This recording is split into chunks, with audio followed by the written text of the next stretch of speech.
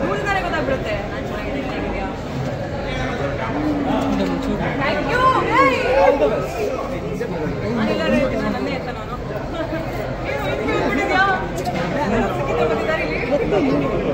ಓಡಿ ಬಂದ್ಯಾ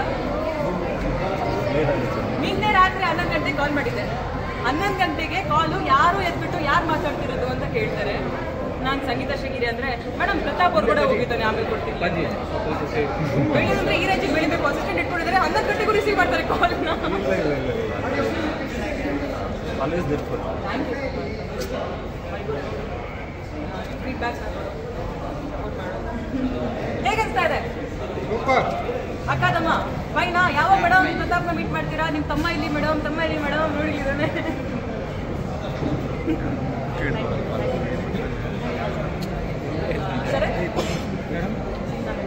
ಕರ್ಕೊಂಡು